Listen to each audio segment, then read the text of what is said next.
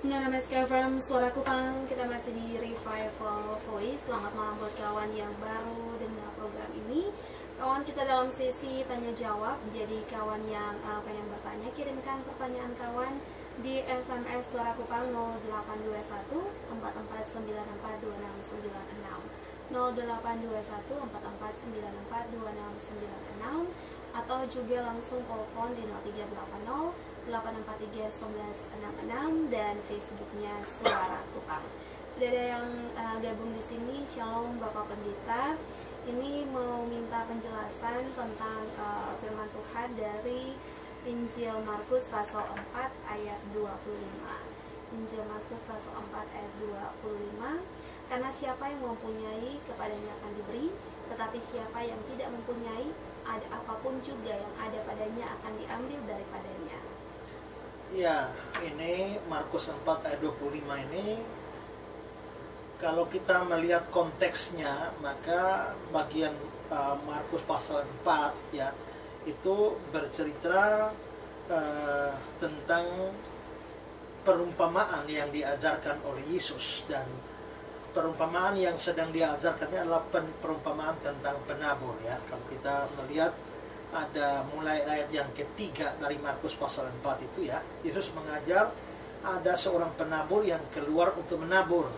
Pada waktu dia menabur sebagian benih jatuh di pinggir jalan lalu burung memakannya sampai habis. Sebagian jatuh di tanah yang berbatu-batu yang tidak banyak tanahnya lalu benih pun segera tumbuh ke layu karena tanahnya tipis. Setelah matahari terbit layulah menjadi kering karena tidak berakar Lalu sebagian lagi jatuh di semak duri.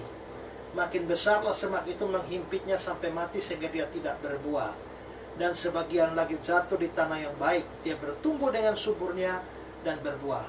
Hasilnya 30 kali lipat dan seterusnya. Lalu Tuhan Yesus mengatakan di ayat yang ke-9, ya, siapa mempunyai telinga untuk mendengar, ia hendaklah ia mendengar. Ayat 10, ketika ia sendirian. Pengikut-pengikutnya dan kedua belas muridnya menanyakan dia tentang perumpamaan itu. Nah, jadi mereka rupanya pada waktu mendengarkan perumpamaan itu mereka tidak mengerti. Lalu Yesus menjawab ayat 11, Kepadamu telah diberikan rahasia kerajaan Allah, tapi kepada orang-orang luar segala sesuatu disampaikan dalam perumpamaan. Jadi Yesus bilang kepada kamu itu diberikan kemampuan untuk mengerti karunia untuk mengerti kebenaran perumpamaan itu. Tapi kepada yang lain, rahasia kerajaan itu ditutup dari mereka. Ya. Ditutup dengan cara apa? Dengan cara penyampaiannya menggunakan perumpamaan. Jadi kadang-kadang Yesus menggunakan perumpamaan itu untuk membuat apa yang kurang jelas itu menjadi lebih jelas. Tapi justru dari sini kita bisa melihat bahwa Yesus menyampaikannya menggunakan perumpamaan supaya ada orang-orang yang tidak bisa mengerti maksud atau rahasia itu. Karena itu ayat yang ke-12 bilang begini, supaya sekalipun melihat mereka tidak menanggap, sekalipun mendengar mereka tidak mengerti, supaya mereka jangan berbalik dan mendapatkan ampun. Nah, jadi kelihatannya di sini Yesusnya tidak mau orangnya mengerti firman. Yesusnya kelihatannya tidak mau bahwa orangnya berbalik lalu akhirnya mendapatkan ampun. Karena itulah maka rahasia itu ya rahasia kerajaan Allah itu disampaikan dalam bentuk perumpamaan ya dalam bentuk perumpamaan. Nah sebenarnya di sini apa yang menyebabkan Tuhan Yesus menyembunyikan kebenaran itu dari mereka ya? Karena mereka sebenarnya tidak cinta kebenaran ya tidak cinta kebenaran. Uh, itu misalnya sama seperti seorang ibu ya seorang ibu yang memberikan anaknya makan. Tapi anaknya tidak suka makan ya. Anaknya tidak mau makan menolak makanan itu maka pada akhirnya si ibu tidak lagi memberikan makannya pada anak itu. Makanan itu diambil daripadanya. Nah ini sama terjadi. Orang yang tidak cinta firman orang yang tidak menyukai firman maka Tuhan pada akhirnya menutup kebenaran firman itu dari dia sehingga dia sudah biarpun dia mendengar dia tidak mengerti apa-apa ya biarpun dia mendengar tapi dia tidak tahu apa-apa tentang firman itu. Nah, uh, itu dibicarakan sama ya sama di dalam Injil Lukas juga ya. sekalipun memandang mereka tidak melihat dan sekalipun mendengar mereka tidak mengerti dalam Lukas 8 ayat yang ke-10. Nah, Calvin berkata ada dua cara ya Tuhan menyembunyikan firman dari orang-orang yang tidak suka firman. Pertama adalah mengajarkan ajaran yang uh, tidak jelas uh, dengan mempergunakan perumpamaan ini seperti itu ya. Kedua adalah dia menutup mata orang itu atau telinga atau hati orang yang menerima ajaran itu sehingga orang itu biarpun ada firman dia tidak akan mengerti. Contohnya adalah Yudas. Yudas pasti mendengarkan uh, perumpamaan ini ya tapi toh dia tidak bertobat dan uh, Tuhan menutup pikirannya ya karena itu di sini yang menentukan itu adalah ada tidak kerinduan di dalam hati saudara untuk mengerti kebenaran? Kalau saudara punya kerinduan mendengar kebenaran Tuhan akan menambah-nambahkan kebenaran itu pada saudara. Tapi kalau saudara tidak rindu pada kebenaran maka Tuhan akan menutup kebenaran itu ya. Tuhan uh, akan menutup kebenaran itu. Coba kalau kita membandingkan dengan Lukas 8 ayat 18 karena itu perhatikanlah cara kamu mendengar. Perhatikan cara kamu mendengar. Karena siapa yang mempunyai mempunyai kerinduan itu kepadanya akan diberi akan diberikan kebenaran itu tapi siapa yang tidak punya siapa yang tidak mempunyai kerinduan akan kebenaran daripadanya akan diambil juga apa yang ada padanya bahkan akhirnya orang itu merosot tidak mengerti apa-apa lagi tambah parah kalau kita bandingkan ayat itu dalam terjemahan Indonesia sehari-hari, dia bilang begini. Sebab orang yang sudah mempunyai akan diberi lebih banyak lagi. Tapi orang yang tidak mempunyai sedikit yang masih ada padanya akan diambil juga. Ya, Jadi ini sama dengan ayat yang saudara tanyakan tadi di dalam Markus pasal yang keempat ayat yang ke-25 ya. Markus pasal 4 ayat yang ke-25 sekali lagi ayat itu karena siapa yang mempunyai kepadanya diberi. Ini mempunyai apa? Mempunyai kerinduan firman. Akan diberikan kebenaran. Tapi siapa yang tidak mempunyai, tidak punya kerinduan firman, daripada semua akan diambil. Karena itu saudara, makanya dibilang perhatikanlah cara kamu mendengar. Karena itu saudara, perhatikan waktu saudara mendengar firman. Saudara pergi ke gereja, saudara dengar khotbah, di mana pun. Saudara punya kerinduan atau tidak. Kalau saudara pergi ke gereja hanya sekedar ya uh, tradisi saudara pergi ke gereja hanya cepat mengharapkan supaya firman Tuhan cepat amin selesai lalu pulang dan sebagainya tanpa ada kerinduan saudara Tuhan akan menutup kebenaran dari saudara tapi kalau saudara penuh kerinduan untuk kebenaran justru akan ditambahkan pengertian jadi itu maksud ayat itu ya baik selanjutnya uh, saudara lagi yang gabung uh, selalu Bapak Pendeta ini waktu Yesus menjadi manusia 100%, apakah ia bisa menebus dosa? Loh, justru dia layak menjadi penebus dosa kalau dia menjadi manusia 100%. Karena untuk menjadi penebus dosa, dia itu harus pertama harus manusia. Karena yang berbuat dosa adalah manusia. Kedua, dia harus tidak berdosa. Ya, karena kalau dia juga berdosa, bagaimana dia bisa menebus dosa kita. Kalau dia berdosa satu saja, maka dia juga sama dengan kita layak masuk neraka. Karena itu sang juru selamat itu harus suci, tidak boleh berdosa. Tapi dia mesti manusia. Jadi syarat nomor satu adalah manusia, syarat nomor dua adalah tidak boleh berdosa. Nah, kalau cari di dunia ini maka ada manusia, ya, tapi semua berdosa. Syarat pertama terpenuhi, tapi syarat kedua sama sekali tidak ada. Kalau cari di atas sana di surga, maka ada yang tidak berdosa, tapi bukan manusia. Jadi syarat kedua ada, tapi syarat pertama tidak. Nah, bagaimana menghasilkan manusia yang tidak berdosa? Itulah sebabnya, maka kekristenan mengajarkan Allah yang tidak berdosa itu menjelma menjadi manusia. Waktu dia menjelma menjadi manusia, kan Allah mempunyai satu sifat, yaitu sifat tidak berubah. Di mana sekali Allah tetap Allah dia tidak pernah absen jadi Allah, tidak pernah pensiun jadi Allah, tidak pernah liburan jadi Allah, tidak pernah berhenti jadi Allah, baik untuk sementara maupun untuk seterusnya. Karena itu pada waktu dia menjadi manusia, dia tidak pernah berhenti jadi Allah. Maka waktu dia menjadi manusia, dia tetap Allah.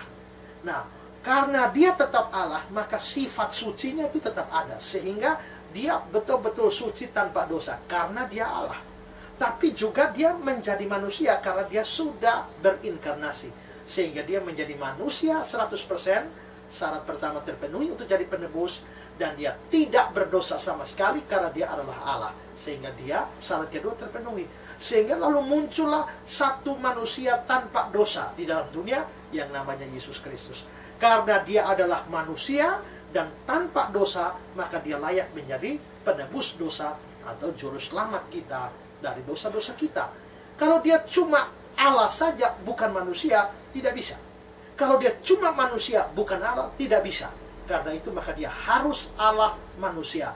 Allah menjelma menjadi manusia yang nanti kita rayakan beberapa bulan lagi dalam peristiwa Natal.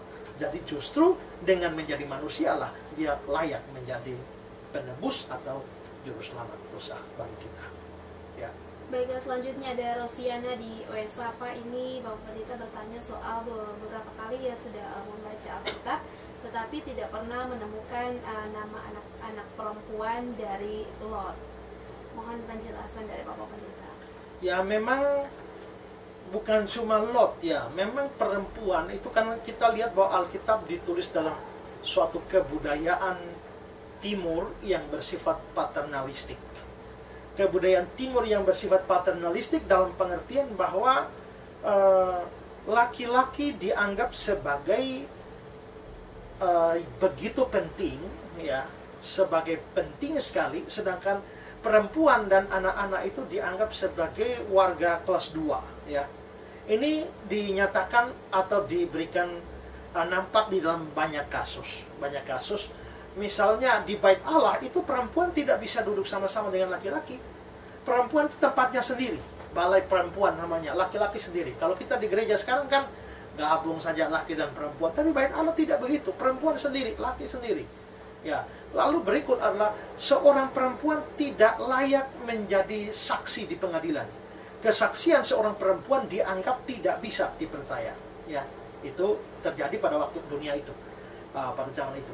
Berikut adalah kita bisa lihat bahwa uh, nama-nama uh, perempuan itu tidak pernah dimasukkan dalam silsilah-silsilah yang resmi, silsilah-silsilah yang resmi. Laki-laki begitu diagungkan, ditinggikan. Makanya seorang laki-laki Yahudi itu biasanya berdoa mengucap syukur untuk beberapa hal. Pertama, dia berdoa, Tuhan aku mengucap syukur karena engkau menciptakan aku. Kedua, aku mengucap syukur karena engkau menciptakan aku sebagai orang Israel, orang Yahudi, bukan bangsa lain. Ketiga, aku mengucap syukur karena engkau menciptakan aku sebagai manusia dan bukan uh, sebagai laki-laki dan bukan perempuan. Ya.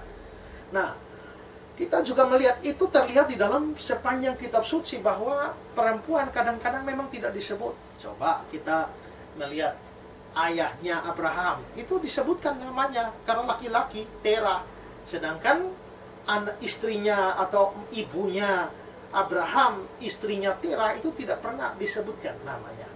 Lalu delapan orang yang selamat dari air bah itu juga empat orang laki-laki disebutkan namanya semua yaitu Nuh dan tiga orang anaknya Sem, Ham, uh, dan Yafet. Jadi empat orang laki-laki sebut. Sedangkan istrinya Nuh tidak disebutkan namanya. Istrinya Sem siapa, Ham siapa, Yafet siapa, tidak pernah disebutkan namanya. Orang pernah tanya saya, Pak Pendeta siapa namanya istri Sem, Ham, Yafet? Saya bilang namanya adalah Nyonya Sem, Nyonya Ham, Nyonya Yafet. Nah, karena tidak ada nama. Kita bisa lihat misalnya 12 anak Yakub itu ada uh, nama perempuan satu namanya Dina, tapi Dina itu tidak pernah jadi suku. Yang menjadi suku Israel cuma 12 suku, anak laki-laki semua, tidak pernah ada suku Dina. Di dalam perjanjian baru kita mendapatkan cerita Yesus memberi makan 5000 orang, tidak termasuk perempuan dan anak-anak. Kalau tambah perempuan dan anak-anak pasti di atas 5000, mungkin sekitar 7500. Ya, tapi perempuan tidak dihitung. Di dalam Matius pasal yang ke-13 itu ada uh, bicara soal saudara-saudara Yesus, yaitu ada yang namanya Yakobus, Yoses, Yudas, ya. Nah, tetapi dan juga ada saudara-saudara perempuan, tapi saudara-saudara perempuan yang tidak disebutkan namanya. Karena itu maka kalau sampai saudara tidak baca Alkitab tidak ada namanya anak-anak Lot ya wajar memang karena kebudayaan pada waktu itu tidak mencatat nama-nama perempuan.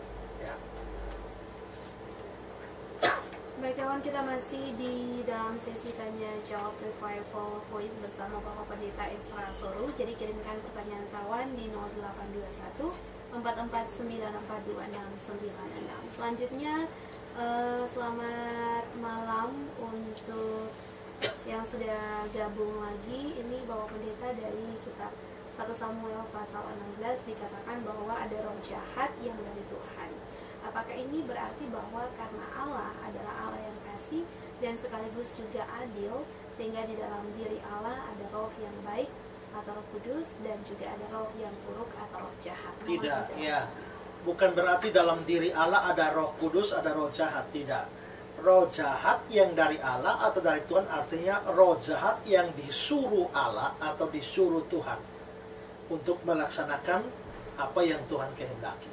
Ya, Nah, 1 Samuel 16 konteksnya itu soal Saul. Nah, Saul itu dia menjadi raja yang tidak taat, raja yang melawan Tuhan. Pada akhirnya Tuhan itu melantik atau mengurapi ya raja yang baru yaitu Daud. Maka dikatakan 1 Samuel pasal 16 itu ya. Roh Tuhan undur dari Saul. Sebaliknya pada waktu Daud diurapi jadi raja, mulai satu sejak saat itu roh Tuhan ada pada Daud. Roh Tuhan ada pada Daud, pada saat yang bersamaan roh Tuhan yang dari Saul itu dicabut. Sebagai gantinya adalah Tuhan mengirimkan roh jahat yang dari Tuhan. Itu lalu mengganggu atau menyiksa atau membuat ketakutan si Saul ini. Jadi itu bukan berarti bahwa di dalam diri Tuhan ada roh kudus dan juga ada roh jahat. Bukan. Roh jahat di situ adalah setan. Nah, tetapi setan itu atau roh jahat itu juga ciptaan dari Allah. Karena itu dia mesti tunduk pada Allah sekalipun terpaksa.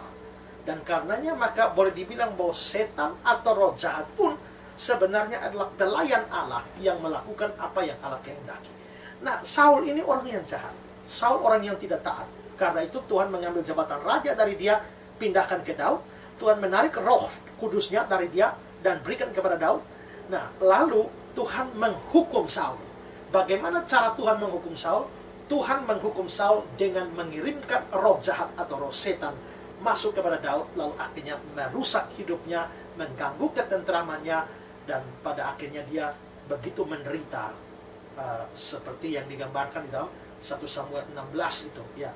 Bahkan kadang-kadang dia kehilangan kesadaran sampai dia mau bunuh Daud, mau bunuh Yonatan anaknya ya karena sudah dikuasai, dirasuk oleh roh jahat itu. Jadi roh jahat yang dari Tuhan, roh jahat dari Allah artinya adalah roh jahat yang disuruh Allah untuk melakukan apa yang Tuhan Allah kehendaki. Ya. Selanjutnya ada uh, Nila ini yang bertanya soal di mana terletak kesalahannya bahwa uh, seorang anak yang uh, dulunya uh, sekolah teologi ya bahkan sampai selesai di wisuda tapi ini uh, melupakan komitmennya bahwa selesai wisuda harus langsung melayani tetapi malah e, langsung berkeluarga. Mohon penjelasan dari Bapak Pendeta. Ya, kalau orang komitmen untuk melayani sekolah teologi ya, habis sekolah teologi langsung nikah, tidak melayani. Kalau bagi saya tidak ada masalah ya sepanjang komitmen pelayanan kan tidak harus dibentrokkan atau dikontraskan dengan pernikahan asal dia tetap melayani ya.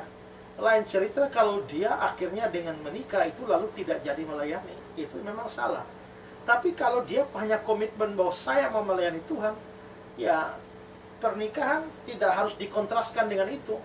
Ya bisa jadi kadang-kadang memang dengan menikah pelayanannya bisa terhambat tapi kadang-kadang dengan menikah juga pelayanannya bisa lebih maju. Nah jadi saya kira uh, tak ada firman Tuhan yang mengharuskan bahwa orang kalau mau melayani tidak boleh menikah dulu. Tidak ada ya. Jadi ada kadang-kadang ada orang yang sekolah teologi setelah tamat melayani panjang dulu, habis itu baru nikah. Ada yang begitu sekolah teologi selesai langsung nikah dulu, habis itu baru pelayanan. Ada yang sudah nikah duluan, habis baru masuk sekolah teologi, baru lanjut pelayanan. Bagi saya tidak ada masalah sama sekali. Ya, asal memang pelayanannya tetap jalan. Lain cerita kalau gara-gara nikah lalu pelayanannya tidak jalan nah itu baru salah ya. Tapi kalau dengan menikah pelayanan bisa jalan terus ya kenapa tidak? Tidak ada soal di situ ya. Oke, selanjutnya Shalom Bapak Pendeta ini bertanya ada seorang Kristen yang uh, masuk ke agama lain atau pindah agama karena uh, menganggap Tuhan Yesus bukan Tuhan Allah, uh, tapi uh, kalau Yesus itu hanya utusan saja. Bahkan sudah sampai menerbitkan buku mengenai hal ini. Bagaimana sikap kita sebagai orang Kristen terhadap orang ini? Ya, memang terlalu banyak orang seperti itu ya yang jadi yang Kristen lalu pada akhirnya pindah agama, pindah kepercayaan karena menganggap bahwa ajaran Kristen itu salah.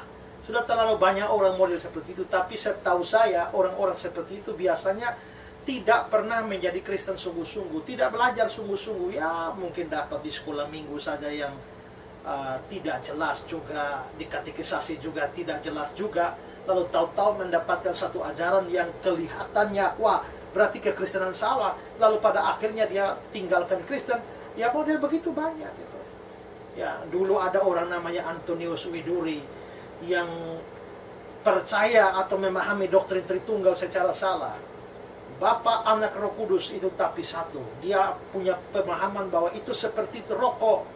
Rokok itu biarpun ada filternya, ada kertasnya, ada tembakonya, tapi rokoknya cuma satu eh dia nekat meng, uh, menantang uh, suatu pimpinan agama lalu mengatakan bahwa kalau sampai debat saya kalau saya pindah dari Kristen ya lalu akhirnya dia debat nah dia debat dia bawa rokok. Nah ini Tritunggal ini seperti rokok.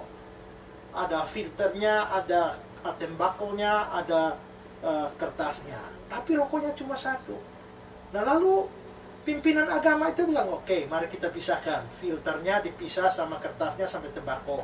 Anggaplah bahwa filternya itu Allah Bapa. Lalu uh, kertasnya itu Yesus Kristus. Nah lalu uh, tembakonya Roh Kudus lalu orang tanya angka filter ini filter filter tanpa tembakau tanpa kertas rokok atau bukan dia jawab bukan kalau begitu Bapa tanpa anak tanpa Roh Kudus itu bukan Tuhan Lalu ambil lagi ini kertas. Kertas tanpa tembakau, tanpa filter, rokok atau bukan? Bukan. Kalau begitu anak tanpa roh kudus, tanpa bapak, bukan Tuhan. Ambil lagi tembakau. Kalau tembakau tanpa filter, tanpa kertas, itu rokok atau bukan? Bukan. Kalau begitu roh kudus tanpa bapak, tanpa anak, itu bukan Tuhan. Jadi mereka baru Tuhan kalau gabung tiga. Tapi kalau sendiri-sendiri bukan Tuhan. Berarti bapak bukan Tuhan. Anak bukan Tuhan, Roh Kudus bukan Tuhan, Bapa bukan Allah, Roh Kudus bukan Allah, anak bukan Allah. Kalau Bapa ada Roh Kudus baru jadi Allah. Eh, bingung si Antonius Widuri ini. Akhirnya si Antonius Widuri ini sudah tidak bisa jawab lagi. Lalu akhirnya nanya, oh iya ya, doktrin Tritunggal itu salah ya. Akhirnya pindah agama dia. Nah menurut saya bukan kekristenan yang salah, tapi dia yang ngawur, ya kan? Belum memahami doktrin Kristen secara benar, tapi pada nekat pada akhirnya merasa pindah kepercayaan dan merasa bahwa kekristenan salah. Yang model begitu banyak. Yesus itu bukan Allah, tapi utusan Allah. Nah, kalau bicara soal uh, hakikat itu lain dengan bisa bicara soal jabatan. Kalau bicara hakikat, Yesus itu Allah, Bapa itu Allah. Ya, tapi kalau bicara soal jabatan, maka ini memang Bapa itu sebagai pengutus, Yesus itu sebagai yang diutus. Tapi yang diutus yang diutus lebih rendah dari yang mengutus. Itu dari urusan jabatan. Tapi dalam hal, hal hakikat itu tidak bisa yang diutus lebih rendah dari yang mengutus. Saya coba uh, berikan begini ya. Kalau gubernur itu mengutus saudara pergi ke Sabu, ya, maka saudara ini menjadi utusan dari gubernur. Jelas gubernur lebih tinggi dari saudara. Tapi gubernur itu apa? Ya hakikatnya. Dia manusia Loh saudara, manusia juga. Nah, hanya kalau saudara adalah utusan gubernur, bukan berarti bahwa gubernur manusia, saudara bukan manusia. Saudara dengan gubernur sama-sama manusia setara kemanusiaannya. Dia tidak lebih tinggi dari saudara, dia tidak lebih rendah dari saudara. Tapi dalam urusan pekerjaan, dia lebih tinggi. Karena dia mengutus saudara, saudara adalah utusan. Nah, jadi kita bicara Yesus ini Allah atau Tuhan, ini kita mau bicara soal harus bisa bedakan bicara soal fungsi atau jabatan dengan soal hakikat. Nah, jadi menurut saya orang-orang seperti itu kan ngawur saja, tidak memahami kekristenan dengan benar, tapi lalu akhirnya merasa meninggalkan Kristen, lalu ketemu kebenaran, lalu menulis buku menyerang Kristen lagi. Nah menurut saya model-model begitu tuh gampang dijawab ya. Nah jadi menurut saya bagaimana sikap kita kepada mereka ya doakanlah supaya dia bisa bertobat dan balik. Ya sadar dari kesesatan dan kebodohannya. Ya pertama itu itu, itu yang dilakukan. Kalau tidak maka dia ini ya uh, lakukan fungsi apologetik ya lakukan fungsi apologetik yaitu menjawab serangan dia. Kalau dia menulis buku ya dijawab ya. Kalau saudara tidak bisa jawab ya cari bawa bukunya, cari pada hamba-hamba Tuhan yang mengerti kebenaran lalu suruh dijawab ya untuk menjadi pencerahan bagi umat. Ya, kalau saya bahkan kalau perlu diajak debat ya untuk menunjukkan apakah dia benar atau kita yang sesat ataukah justru dia yang sesat ya. Nah, jadi saya kira sikapnya seperti itu. Selanjutnya, Bang Pendeta selamat malam mohon penjelasan mengenai ungkapan kembali ke dalamnya menurut Ayub 1 ayat 21. Ayub pasal 1 ayat 21 katanya dengan telanjang aku keluar dari kandungan ibuku, dengan telanjang juga aku kembali ke dalamnya. Tuhan yang memberi, Tuhan yang mengambil, terpujilah nama Tuhan. Ayub 1 ayat ayatnya yang ke-21 uh, kembali ke dalamnya itu tidak boleh diartikan kembali ke rahim ibu ya. Nah itu memang uh, terjemahan baru itu membuat uh, kesan seperti itu. Tapi kalau kita misalnya membaca terjemahan yang lain, bahasa Indonesia sehari-hari misalnya ya, itu dan berkata, Aku dilahirkan tanpa apa-apa dan aku mati tanpa apa-apa juga. Tuhan telah memberikan, Tuhan pula telah mengambil. Terpujilah nama Tuhan. Jadi ini kelihatannya bicara soal lahir dan dikontraskan dengan mati. Ya, dikontraskan dengan mati. Jadi dengan telanjang aku keluar dari kandungan ibuku itu harus diartikan sebagai lahir. Dengan telanjang juga aku akan kembali ke dalamnya bukan berarti kembali ke rahim ibu tapi artinya adalah mati. Cuma itu saja artinya ya. Nah jadi di sini memang ada kesan kembali ke rahim menurut terjemahan Indonesia tapi seharusnya tidak demikian hanya terkesan begitu saja ya. Baik selanjutnya ada Ama di Fontaine Bapak Pendeta apa benar cikal bakal penyembah setan atau antikris berawal dari Babel cikal bakal penyembah setan atau antikris berasal dari Babel. Uh, saya kira penyembahan berhala ya itu terjadi di seluruh dunia ya. Kalau cikal bakalnya dari Babel itu ya saya tidak tahu ya tapi setahu saya justru kalau kita melihat di dalam uh, cerita Alkitab itu sudah ada di hampir semua kebudayaan. Ya, ketika Israel kebudayaan Israel berkembang, lalu dia mulai berinteraksi dengan kepercayaan-kepercayaan yang lain. Memang kalau kita melihat uh, Adam Hawa itu di Taman Eden. Taman Eden itu ada di wilayah mana? Di wilayah Mesopotamia wilayah Mesopotamia nanti juga Abraham juga asalnya dari sana. Abraham ini kan dipanggil dia bangsa kafir. Dari berasal dari orang kafir uh, kepercayaan kafir dari kafir Mesopotamia. Nah Mesopotamia itu di mana? Mesopotamia itu ya uh, di wilayahnya kerajaan Babilonia dan juga Asyur. Jadi sekitar Iran dan Irak sana. Nah apakah memang uh, penyembahan setan mulai dari sana saya kira Alkitab tidak mengatakan dari sana, tapi Alkitab hanya mengatakan bahwa itu sudah ada, ya. Sehingga uh, karena sejarah Alkitab ini dimulai dari Mesopotamia sana, wilayah Babilonia sana, nah maka yang tercatat dalam Alkitab adalah kisah-kisah awal di mana Abraham keluar dari bangsa kafir, di mana bangsa penyembah berhala di wilayah Babel. Jadi jelas di Babel ada, tapi apakah itu yang pertama? Saya tidak tahu. 9 MSK from Suara Kupang Kawan kita masih di sesi tanya jawab Revival Voice. Selamat malam buat Anita. Ini Shalom Bapak Pendeta. Mau bertanya apa perbedaan Bethlehem dengan Efrata Dan juga apa persamaannya? Terima kasih. Uh, Efrata tuh lebih menunjuk kepada padang ya. Padang tempat uh, para gembala itu menggembalakan kambing domba pada waktu peristiwa Natal sedangkan Bethlehem itu ke kampungnya ya kampungnya uh, Bet itu artinya rumah dan lehem itu artinya roti. Jadi Bethlehem itu artinya rumah roti sedangkan Efrata itu adalah padang ya padang yang ada di sekitar atau di dekat dengan kampung Bethlehem itu ya. Jadi ya memang lokasinya beda tetapi berdekatan. Ya. selanjutnya ada Yesti yang uh, bertanya soal kata Yesus itu anak Daud ya. Karena ada yang bertanya kepada dirinya bahwa padahal uh, Yesus itu uh, disebut anak Daud bukan anak Yusuf. Padahal Yesus itu adalah anak Yusuf.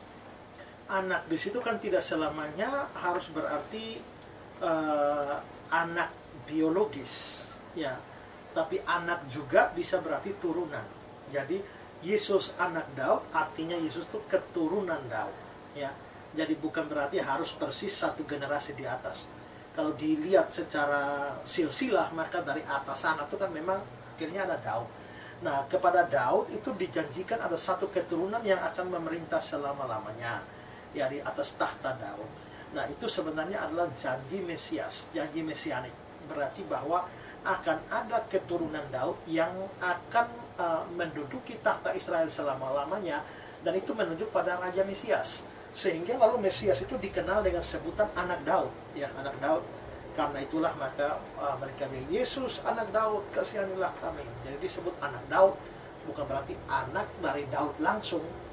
Satu generasi di bawah Daud bukan tapi maksudnya keturunan dari Daud. Itu maksudnya begitu.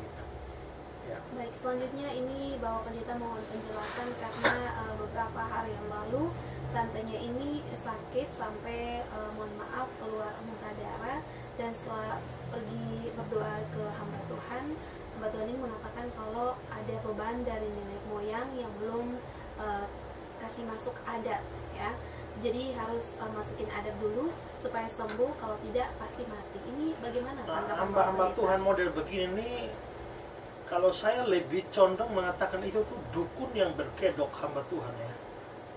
Nah, kalau sudah mengatakan bahwa itu adalah uh, dosa nenek moyang ditambah harus masuk apa adat segala macam, ajaran kitab suci bagian mana yang mengajarkan demikian ya. Jadi menurut saya ini inilah ke kelemahan banyak kita ya. Sedikit-sedikit sakit apa pun kita selalu mencari ini apa hamba Tuhan hamba Tuhan ini yang berlaku seperti dukun rohani ya jadi doa tentu perlu ya, doa tentu perlu, tetapi menurut saya kalau memang ini sakit langkah yang pertama dilakukan itu langkah medis ya. Se, uh, tentu saja doa sudah mendahului, tapi setelah doa itu kan kita harus mencari langkah medis. Ada banyak orang mati gara-gara uh, tidak mau pergi ke dokter, tapi hanya bergantung kepada tim-tim doa ini atau eh, orang-orang uh, yang dikenal sebagai hamba Tuhan yang tukang doa ini ya. Nah, belum lagi penglihatannya ini gara-gara orang bikin lah dan lain sebagainya. Ya akibatnya itu sakit medis akhirnya terlambat ke rumah sakit eh mati. Itu saya pernah kubur orang tuh ya gara-gara begitu. Ya.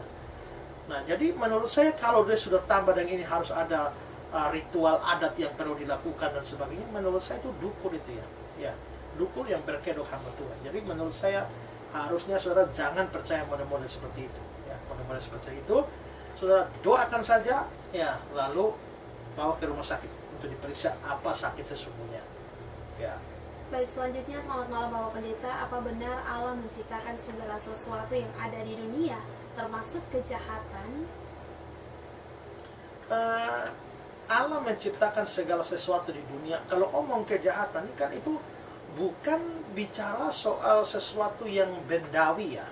Itu uh, sesuatu yang abstrak ya kalau dikatakan Allah ketika Alkitab mengatakan Allah menciptakan segala sesuatu, maka memang uh, segala sesuatu yang kelihatan yang tidak kelihatan diciptakan oleh Allah.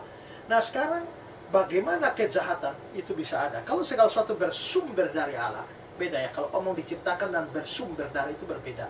Kalau diciptakan mungkin lebih kepada masalah uh, penciptaan dunia material ini ya. Tapi kalau dikatakan Tuhan sumber segala sesuatu, ya Tuhan memang sumber segala sesuatu. Nah, apakah kejahatan juga bersumber dari Tuhan? Kalau memang Tuhan sumber segala sesuatu, bagaimana dengan kejahatan? Memang kejahatan tidak mungkin terjadi kalau tidak diizinkan oleh Tuhan atau bahkan ditetapkan oleh Tuhan. Tapi pada waktu kejahatan itu terjadi, bukan Tuhan yang menggerakkan orang melakukan kejahatan, tapi orang itu dengan kemauannya sendiri itu melakukan kejahatan. Ya, Tuhan uh, menetapkan, misalnya ya, pada waktu penyaliban Yesus saja ya. Penyaliban Yesus itu kan ditetapkan oleh Tuhan bahwa Yesus harus disalibkan. Tapi di dalam pelaksanaan dalam sejarah itu kan ada orang-orang yang membunuh Yesus. Ya, berarti pembunuhan terhadap Yesus itu kan adalah sebuah kejahatan. Ya, sebuah kejahatan. Jadi memang ada dalam ketetapan Tuhan, tetapi eksekusinya itu tidak tidak membuang kebebasan manusia sehingga seolah-olah manusia hanya robot yang seluruh berasal dari Tuhan tanpa kebebasan manusia sehingga lalu pada akhirnya kesalahan dilemparkan kepada Tuhan. Tidak bisa. Memang uh, anak manusia harus pergi seperti yang telah ditetapkan. Itu pengkhianatan jelas tapi celakalah orang yang menyerahkannya. Memang penyesatan mesti ada. Itu ketetapan dari Tuhan. Ya. Nah itu kan penyesatan kejahatan ya. Memang penyesatan harus ada tapi celakalah orang yang menyesatkan jadi berarti bahwa memang penyesatan atau kejahatan pun ada dalam ketetapan Tuhan, tapi dalam eksekusinya, ya, eksekusinya atau pelaksanaannya itu tetap melibatkan oknum-oknum yang berbuat jahat. Dalam hal ini misalnya setan, manusia, dan lain sebagainya. Baik, selanjutnya selamat malam Bapak Pendeta. Apakah pacaran beda denominasi itu salah? Terima kasih. Tidak ada salahnya. Yang salah itu adalah beda kepercayaan, beda iman. Ya, 2 Korintus 6 ayat 14 bilang jangan kami merupakan pasangan yang tidak seimbang antara orang yang percaya dan tidak percaya. Kalau hanya denominasi cek apakah dia sungguh-sungguh beriman atau tidak ya. Kalau dia sungguh-sungguh beriman memang perbedaan antara denominasi itu memang ada ya. Tetapi itu tidak salah ya. Yang harus dilakukan adalah bahwa karena beda denominasi pasti beda ajaran. Maka ini perlu dikomunikasikan untuk saling memahami ya Nah, kalau beda ajarannya, satu sesat, satu tidak, ya ini jadi masalah memang. Itu mestinya salah kalau kita uh, menikah dengan orang yang berpaham sesat. Misalnya, lah, satu percaya Yesus Tuhan, satu tidak. Ya, karena memang ada sekte Kristen juga yang tidak percaya Yesus Tuhan atau Allah. Ya, misalnya saksi Yehova. Nah, itu memang jadi masalah. Dan menurut saya, kalau misalnya dengan saksi Yehova, ya saudara sebenarnya sebaiknya tak usah. Ya, karena apa? Karena menurut saya itu pun sekalipun dikategorikan Kristen, tapi sebenarnya itu uh, uh, boleh dikatakan sama sekali tidak seiman. Tapi kalau hanya gereja Protestan dan juga gereja Pentakosta, nah saudara harus komunikasikan karena jelas jadi jadi problem misalnya yang satu maunya baptis selam, yang satu mau baptis percik, ya nanti kira-kira anak-anaknya gimana? Satu maunya baptisan dewasa. Karena gereja Pentakosta menolak baptisan anak, tapi gereja Protestan menerima baptisan anak. Waktu anak saudara lah itu saudara mau dibaptis. Ya tapi suami saudara yang pentakosta misalnya tidak mau dibaptis karena itu melawan Alkitab. Saudara bisa gegeran ya baku hantam di dalam uh, rumah tetangga sendiri. Jadi perbedaan-perbedaan doktrinal itu harus dipercakapkan terlebih dahulu untuk saling memahami pemahaman yang benar.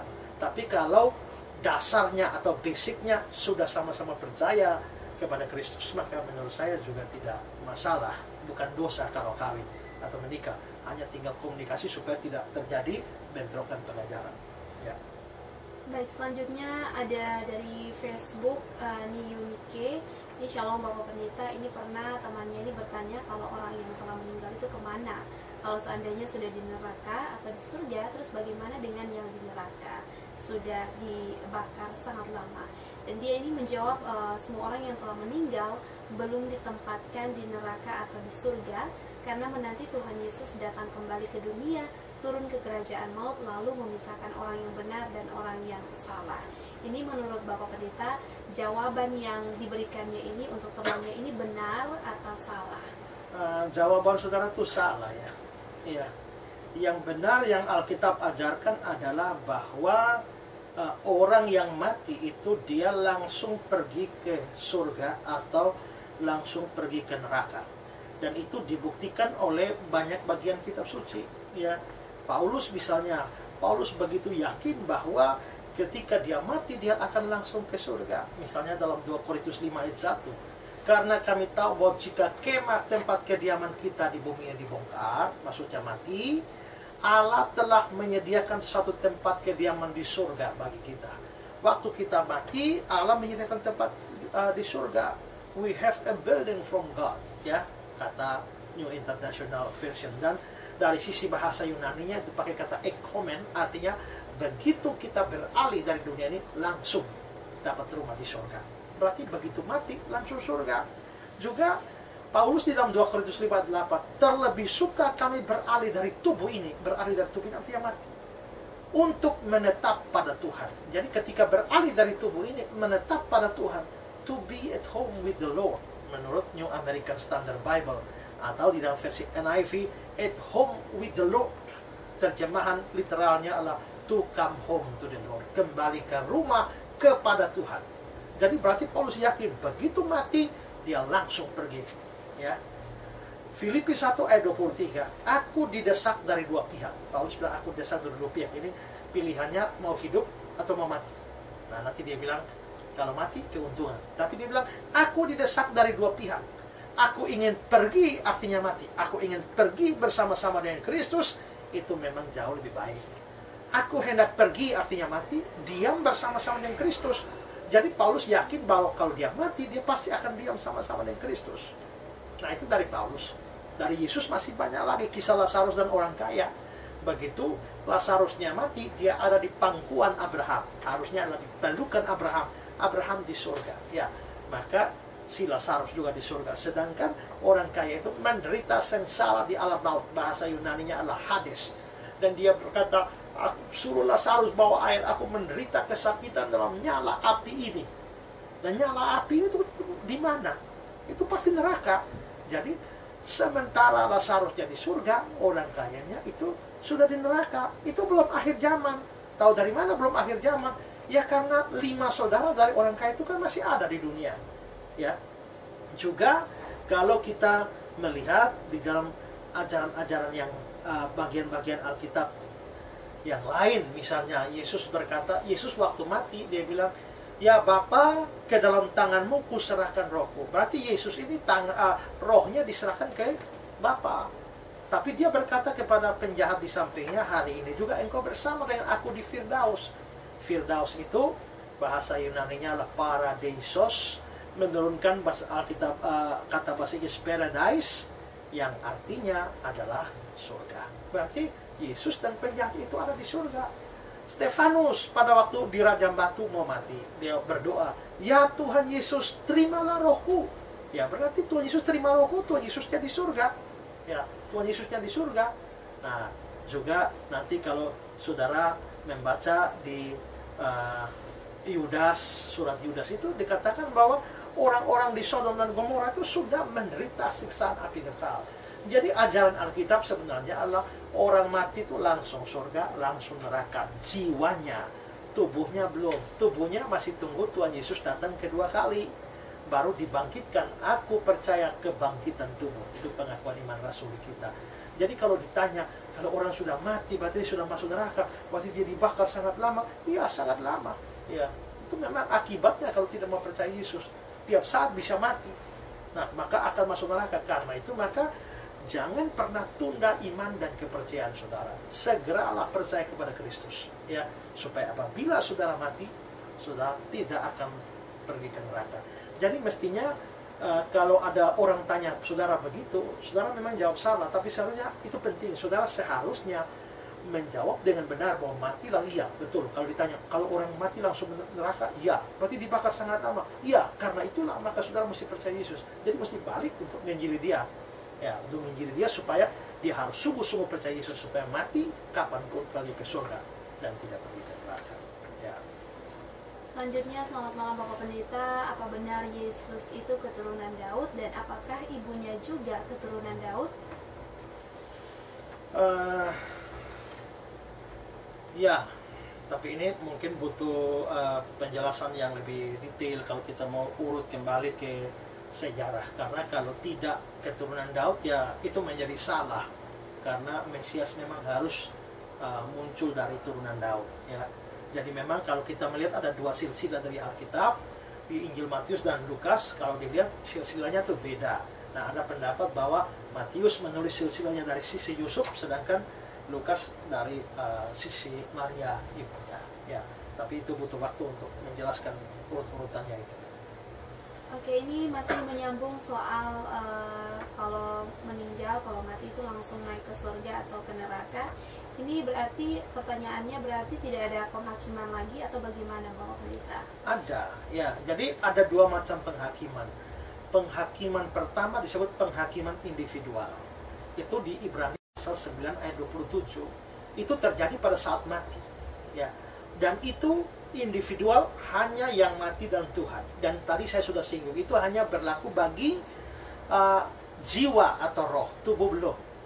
Nah, nanti akan pada waktu kedatangan Yesus yang kedua kali ada yang namanya penghakiman massal.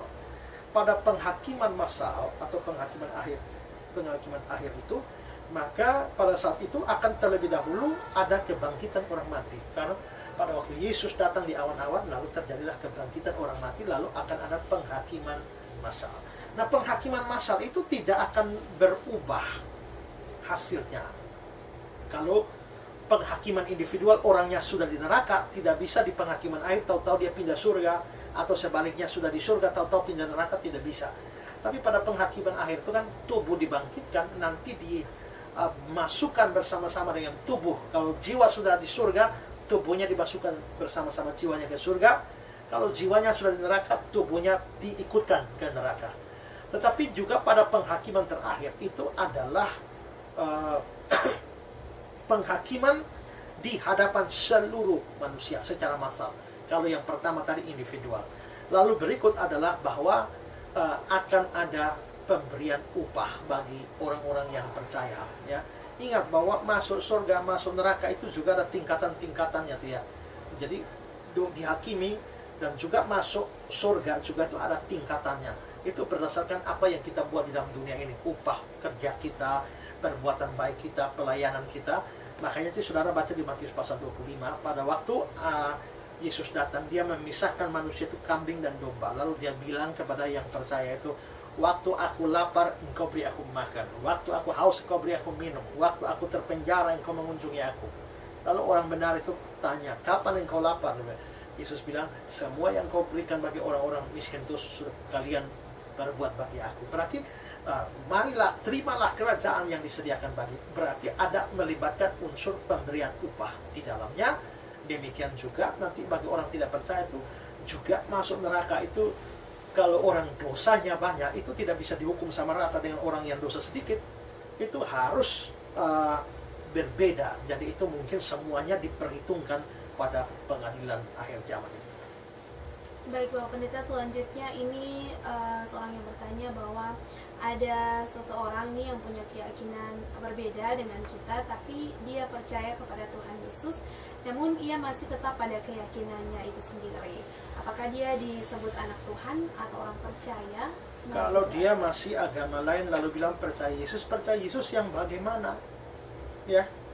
Ingat bahwa percaya Yesus itu Anda tidak bisa percaya Yesus kalau sungguh-sungguh percaya Yesus kalau Anda masih mempercayai yang lain. Mengapa saudara perlu mobil, bawa mobil itu perlu ban serep? Ya.